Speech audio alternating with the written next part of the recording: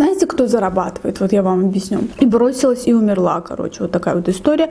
И это мне бабушка рассказывает в тот момент, когда я плачу, у меня истерика, я не знаю, что делать поддерживает, да? И тогда я так сильно испугалась. Всем привет, мои хорошие, с вами Эка Эмили, и сегодня я снимаю для вас очередное новое видео.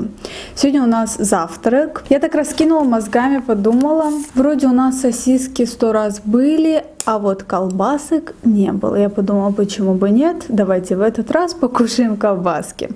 И решила я кушать палочками. Во-первых, это смотрится как-то красиво, во-вторых, я не хочу издавать звуки, а я не нашла М-м-м, какая вкусная колбаска солями. Она была очень-очень дорогая по сравнению с другими колбасами. Мне даже удивительно стало, почему. Вообще у нас есть продукция рублевские колбасы. Они вот очень дорогие, но очень вкусные. Пробую я впервые специально вот для видео купила. Как это вкусно! Оливки. Вот все, что я обожаю. Я сейчас кушаю вот самое любимое. Это сыр. Вот такой вот. Колбаски. Такие сосиски охотничьи. Огурчики, я люблю именно такие маленькие. Прям тает во рту. И еще немного творога. Я вам буду вообще отдельное видео снимать про сырники с творогом. Так что ждите. Надеюсь, что вам понравится. Как это все сочетается. Я еще приготовила здесь лаваш. Но без лаваша даже вкусно. Вчера мне в Инстаграм одна из моих подписчиц написала такую историю, которая реально меня очень задела. В том плане, что я тоже сталкивалась с такой же проблемой. Давайте откроем сметанку. Сметанка бомба. Сметанка нечто.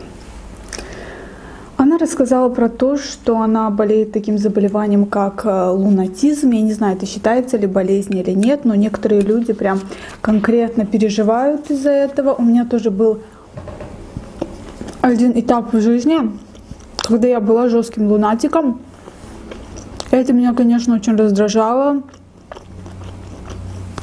Это приносило кучу недовольства, кучу проблем в мою жизнь. Она попросила рассказать свою историю, что каждый раз она просыпается, куда-то идет, и она не осознает то, что она делает. Один раз даже она оказалась в комнате брата своего мужа ночью. Это просто она не осознавала. Она спала и вдруг очнулась там.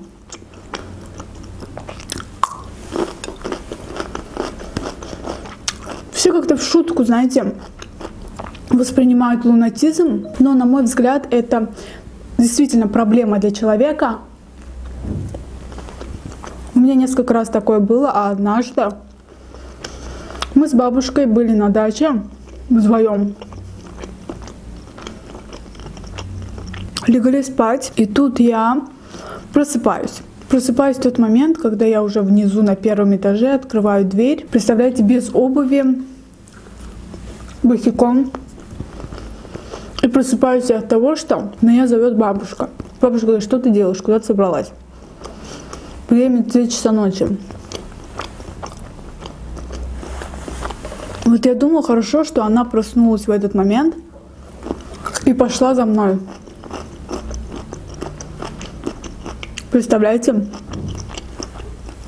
У меня сон. Я типа во сне куда-то иду, гуляю по травке. И тогда я так сильно испугалась. Начала плакать, и это было когда мне было, наверное, лет 13, то есть я была не совсем таки ребенком, вот, но эта ситуация конкретно обеспокоила меня. Бабушка начала водить меня ко всяким гадалкам, чтобы типа изгнать каких-то духов, которые сидят во мне.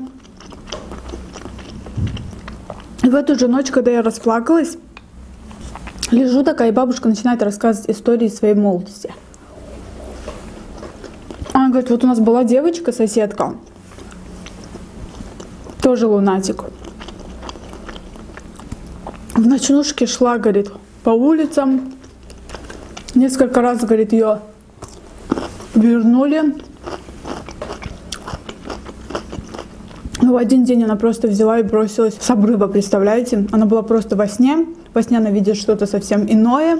Она не видит, что это обрыв. И бросилась и умерла, короче. Вот такая вот история. И это мне бабушка рассказывает в тот момент, когда я плачу, у меня истерика. Я не знаю, что делать. Поддерживает, да?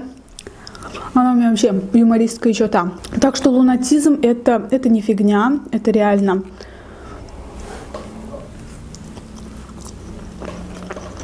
Некоторые вот смеются, а ты лунатик. А я не знала, что ты лунатик.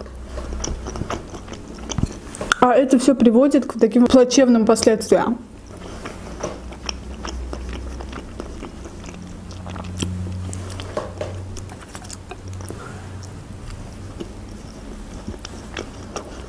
Когда я услышала эту историю, я еще больше расплакалась. В этот вечер мне казалось, что в эту ночь, точнее, мне казалось, что все, я сейчас засну, я пойду куда-то, себя убью, через окно брошусь. Взяла несколько стулов, поставила на дверь, что пока я эти стулья буду убирать, чтобы я проснулась. Я надеялась на это.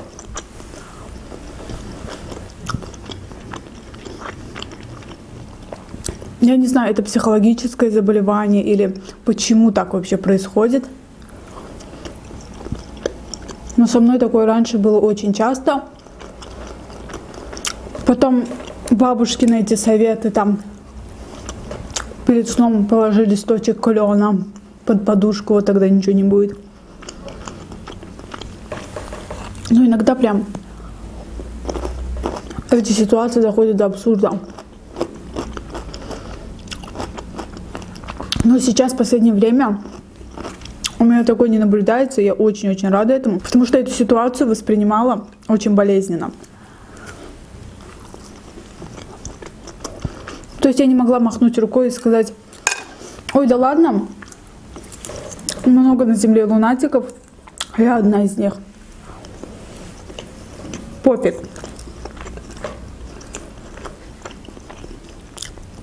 А сейчас у меня другая, кстати, проблема –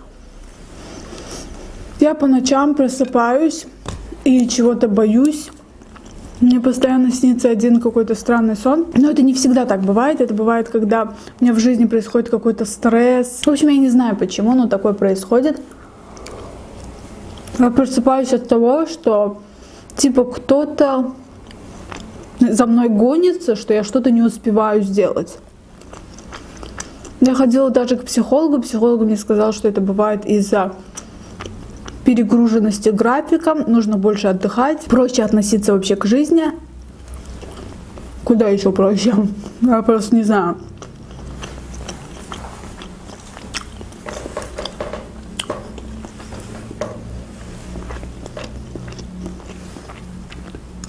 Мама даже одно время закрывала дверь на балкон, чтобы я не бросилась оттуда. Потому что были случаи, я читала в интернете, что лунатик в состоянии сна не осознает, что он делает. Он во сне видит, как он, не знаю, например, на качелях катается, а по идее он идет и идет к обрыву. Или, например, во сне видит, как он ныряет в воду, а там воды нету, например. Там обрыв.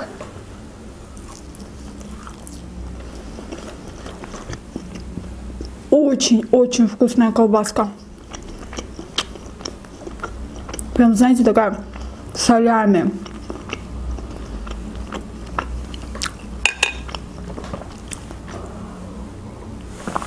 Давайте еще один бутерброд сделаем. Сегодня мы идем, я, Фатя, ко мне на работу. Почему я решила взять Фатю тоже с собой?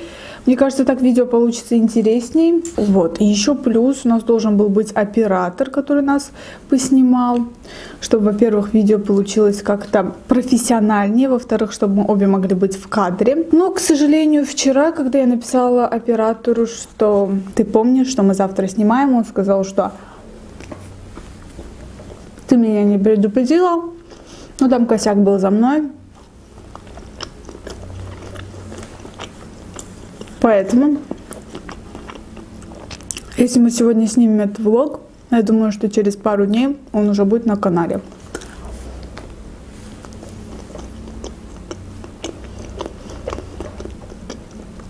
Так что, видите, я выполняю свои обещания.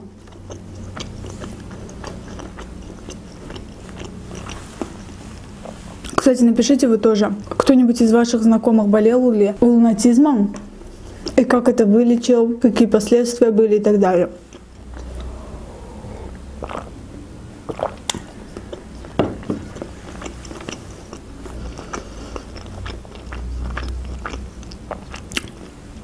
Просто я всегда в мультиках видела, что типа, ну, лунатик и что? Но на себе я понимаю, что лунатизм приводит, может привести к очень плачевным последствиям.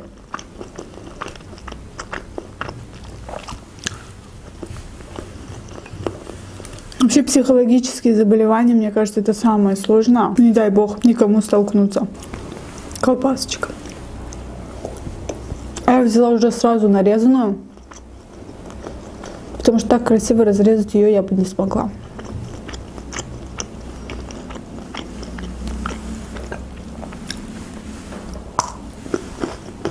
И давайте приступим к вашим вопросам. Расскажи, с чего началась твоя карьера на YouTube. Я думала снимать обзоры на какие-то вещи с Алиэкспресс. И я, по идее, снимала. И вроде они неплохо набирали.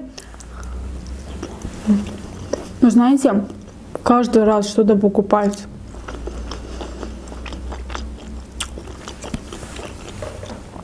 и снимать это получалось очень накладно. Чтобы снять полноценное видео, надо хотя бы заказать на 100 долларов. Там, не знаю, сумочку, кофточку, что-то еще. Получалось, что ты очень много вкладываешь. Я иногда смотрю блогеров. Каждое третье видео у них там про фикс прайс. И вот просто у меня такой вопрос. Куда они девают весь этот хлам, который покупают и показывают на видео? Вот вы думаете, блогеры много зарабатывают? На самом деле вы ошибаетесь, потому что мы еще и вкладываем видео. Я как-то хочу снять вообще вам видео, сколько конкретно я зарабатываю с YouTube. Если вам интересно, пишите в комментариях. То есть я прям покажу доказательства того, что тысяча просмотров в YouTube стоит 30-40 центов.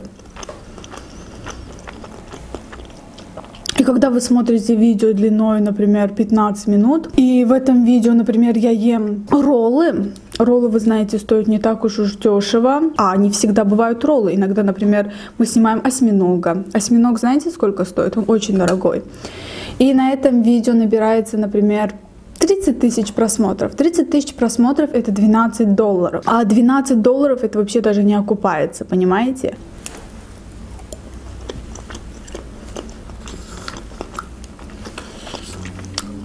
То есть мукбанки, чтобы снять, тебе надо, чтобы перед тобой было много еды. А много еды стоит денег. Даже если ты все это не съешь, должна быть аппетитная такая картинка. Знаете, кто зарабатывает? Вот я вам объясню. На Ютубе зарабатывают люди, которые в свой контент особо денег не вкладывают. Например, снимают видео, что в моей сумочке, не знаю, какие-то влоги. Они все равно идут гулять и тем самым еще и снимают видео. Не вкладывая ничего, например, зарабатывают в день, например, по 12, по 15 долларов.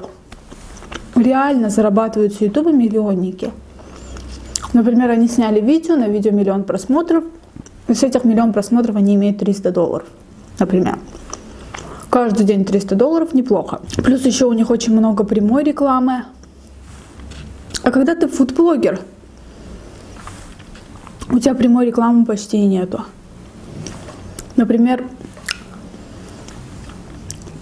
у бьюти-блогеров у них просмотров может быть, например, в 2-3 раза меньше, чем у меня, но они зарабатывают намного больше, чем я. Потому что видео на тематику бьюти, они очень дорогие. Косметических брендов много, и они все покупают рекламу на ютубе. Поэтому все зависит от того, что вы снимаете. Если это детский контент, это опять же немного денег. Если это еда, Че я ушла не туда? Меня спросили о другом, я о другом рассуждаю, но я уверена, что вам интересна тема заработка. И вообще, если начинать снимать, я бы советовала снимать на английском языке. Если чисто из-за заработка думать об этом. Но так как я не собираюсь свою жизнь полностью связывать с Ютубом, у меня есть основная работа, это просто как хобби. Я думаю, ничего, нормально. Но сами посудите. Осьминог, например, стоит 80 монат, а ты заработала с этого видео 12 монат. То есть с этого видео ты, считай, ушла в минус. Какие-то видео не окупаются. Что-то где-то зарабатываешь, конечно. Но так, в общем и целом, с такой аудиторией, как у меня, прям зарабатывать с Ютуба, не,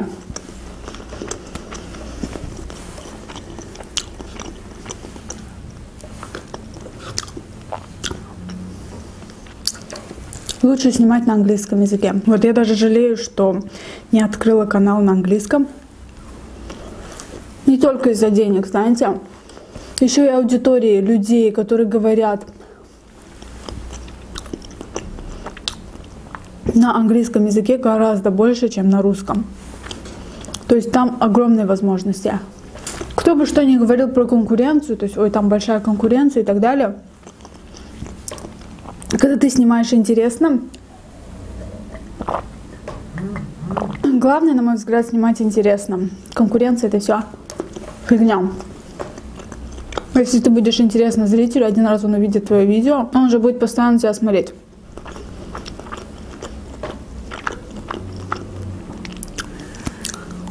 Но есть такие люди, которым вообще не дано это. То есть YouTube это не для всех, мне кажется. Кто-то хорошо поет, кто-то танцует. Я, например, ни петь, ни танцевать не умею. И не хочу туда. Иногда смотришь на человека, она говорит, я блогер, певица, актриса, писательница, танцовщица. Классно, когда талантливый человек талантлив во всем, но это не про меня. Я вот всегда говорю, вот создание Ютуба, далее человек хочет там, не знаю, быть актрисой, певицей, как-то развиваться в этой области и так далее. Но это не про меня. Даже в последнее время я задумываюсь о том, что этот Ютуб у меня будет до каких-то пор, как хобби.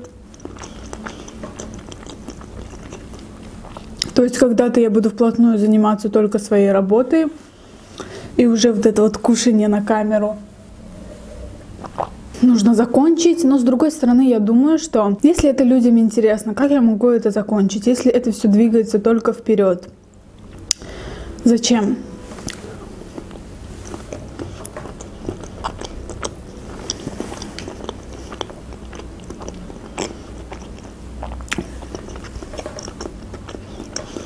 Где-то лет, наверное, до 30 я себя еще вижу в Ютубе.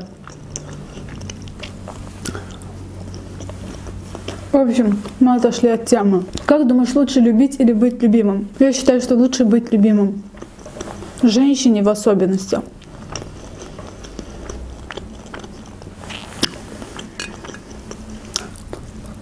Когда мужчина тебя не любит, мне кажется, у тебя тоже пройдут чувства. Безответная любовь не может длиться долго, на мой взгляд. Случались ли странные истории в твоей жизни? Я, если честно, сейчас так не припомню странную историю, но если вы хотите, я могу как-то в следующем видео рассказать какую-то странную историю из жизни. Просто если я сейчас буду вспоминать, это будет очень долго и нудно. Очень вкусно, вот так вот со сметаной. Девочка одна пишет, Айка, очень нравятся твои видео, но не хватит детальной съемки еды с разных ракурсов. Напишите, кстати, вы тоже в комментариях, хотите ли вы, чтобы перед видео я снимала сблизи все то, что я буду кушать. Как вы думаете, это будет интересно или не стоит? Зачем? Я всегда стараюсь прислушиваться к тому, что вы пишете. И даже в один день, я помню, я делала анонс. То есть, например, завтра у нас видео будет, ну, например, про колбаски. Я делаю, например, сегодня вечером видео анонс, да. Потом в комментариях я обнаружила, что вам идея не очень понравилась, я не стала.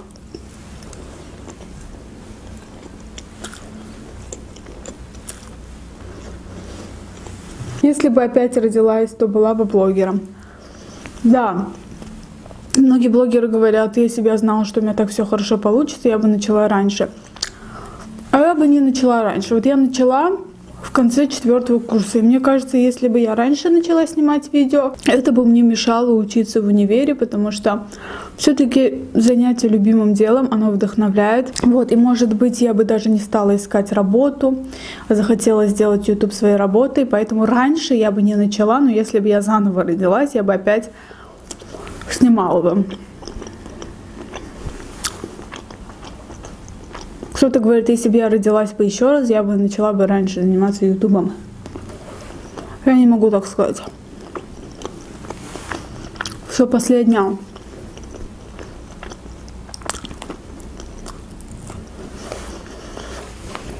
Мне еще с Фати снимать два мукбанка.